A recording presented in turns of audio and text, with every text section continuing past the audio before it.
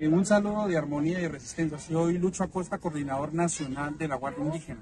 Rechazamos rotundamente el atentado contra los policías en Santander, la muerte de niños indígenas, como es el caso de guardias en Delicias, Buenos Aires, y las muertes que están habiendo en estos momentos entre Miranda y Caloto.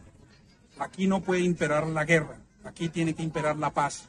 Por eso estamos aquí.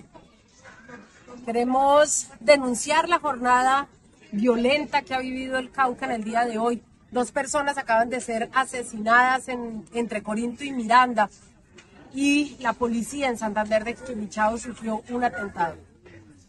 Mi nombre es Andrés Felipe Velasco, soy concejal de Popayán y por supuesto rechazamos el atentado que tuvieron que vivir los policías en Santander de Quimichao Construimos la política de la vida y por eso estamos aquí tratando de llevar un mensaje de paz y reconciliación.